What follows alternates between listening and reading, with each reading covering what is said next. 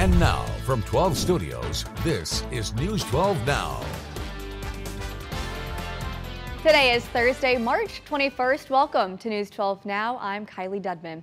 New on News 12 Now, the Justice Department is suing Apple, accusing it of maintaining smartphone monopoly. The lawsuit was filed in federal court in New Jersey today. In the suit, U.S. Attorney General Merrick Garland accuses the company of violating antitrust laws by preventing other companies from offering applications that compete with Apple products. Apple told Fox Apple News that this lawsuit threatens what sets Apple products apart from their competitors. The final two former Mississippi law enforcement officers who pled guilty to a long list of state and federal charges for torturing two black men will be sentenced today. In a total, six white law enforcement officers known as part of the Goon Squad pled guilty to torturing two black men last year in a home in Rankin County, Mississippi. Former Rankin County Deputy Brett McAlpin and former Richland Police Officer Joshua Hartfield are set for sentencing. The victims, their attorneys, and supporters could be seen heading into court this morning as they will listen for the final two sentences to be announced. The United Nations Security Council could vote this week on the U.S. resolution on Gaza. Now, that's according to a diplomat familiar with the matter. The resolution calls for an immediate and sustained ceasefire along with the release of all remaining hostages. In the past, the U.S. vetoed multiple resolutions calling for ceasefires, but on Wednesday, Secretary of State Antony Blinken said Israel has the right to defend itself, but protecting civilians and getting them humanitarian aid also needs to be a focus. Even if the resolution passes, Israel and Hamas still have to work out their own terms of a ceasefire. Those negotiations are ongoing.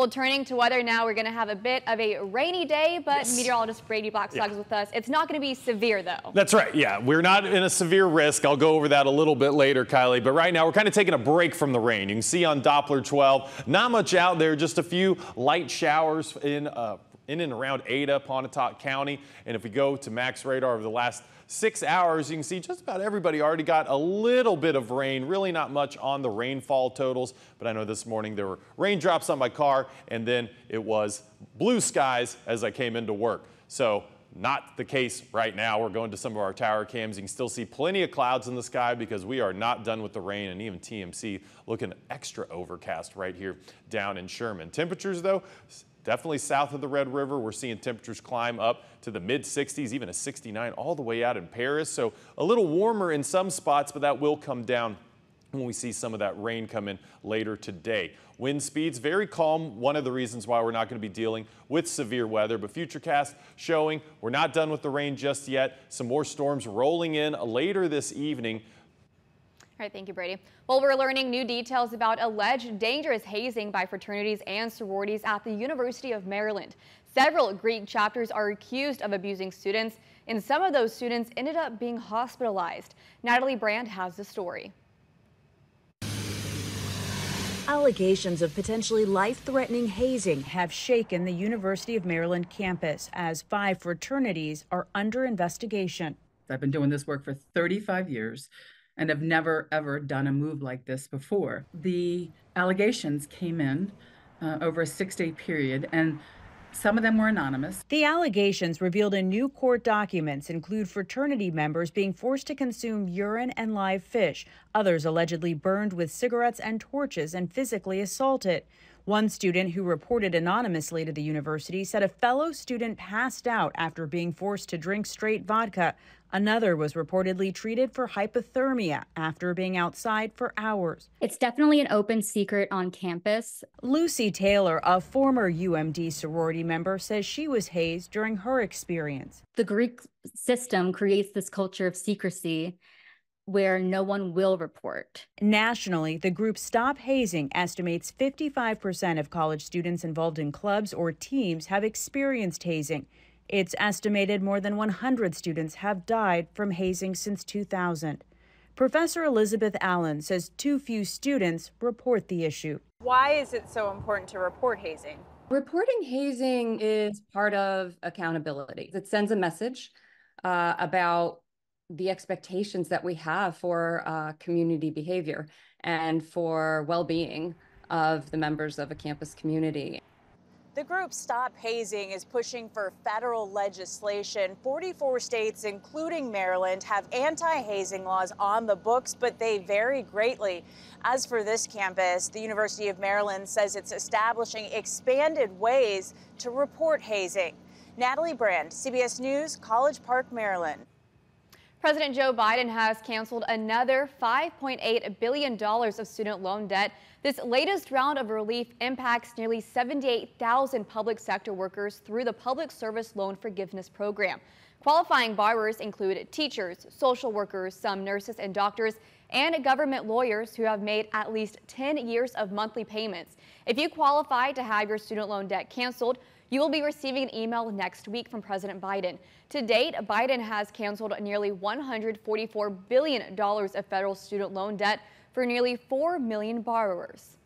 And once again, it's crunch time in Washington as Congress is up against another government funding deadline.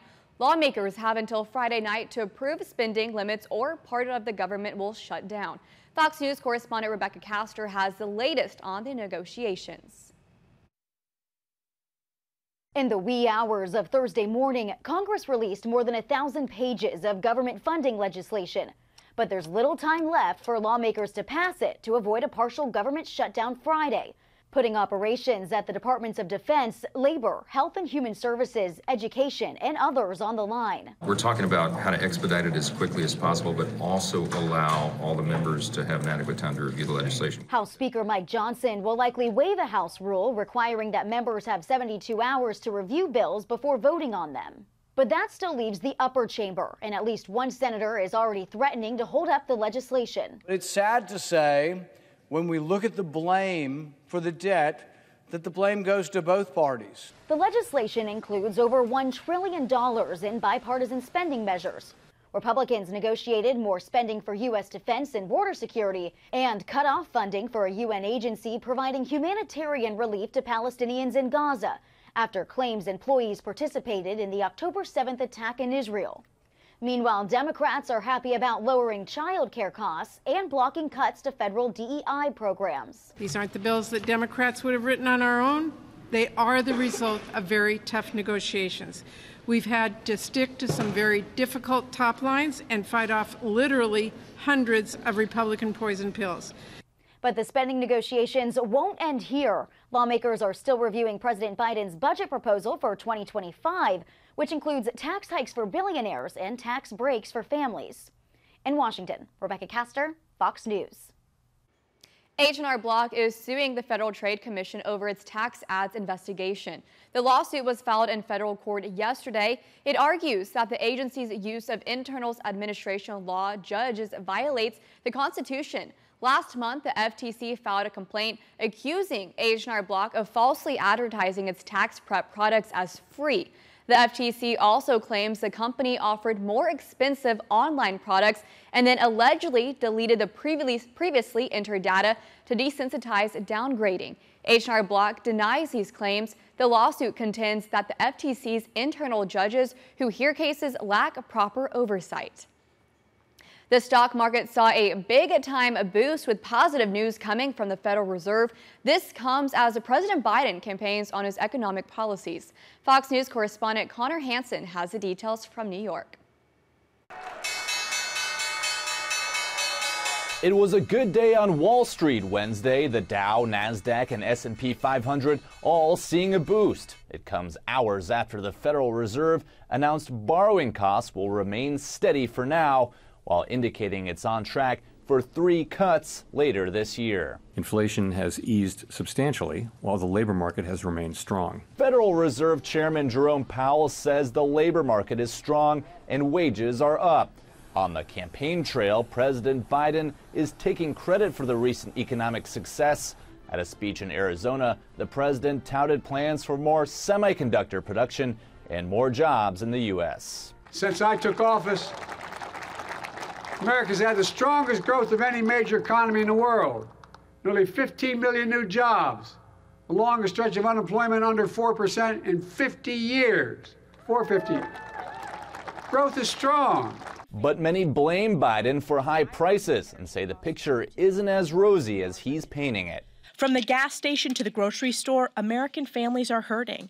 Gas prices are once again on the rise. And some worry about the impact of more government spending and higher taxes could have on the progress. All this spending that they're doing to quote unquote help the economy, help businesses, help the consumer. How about you guys get out of the way? Let us spend our own money. Let us invest our own money, and therefore that will take care of itself. And so, what if we get a little inflation out of it?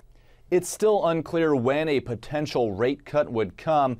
The Fed will meet again at the end of April. In New York, Connor Hanson, Fox News.